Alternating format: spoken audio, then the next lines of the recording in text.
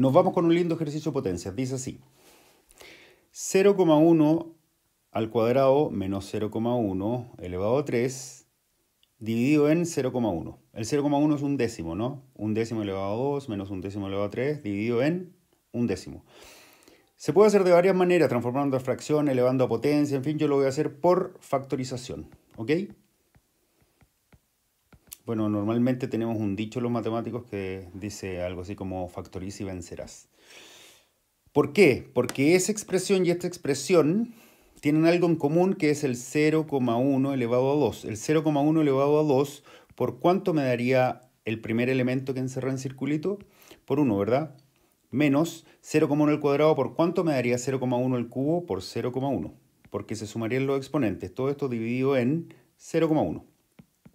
Si te das cuenta que hay un por, entonces, ¿cuántas veces cabe el 0,1 o un décimo?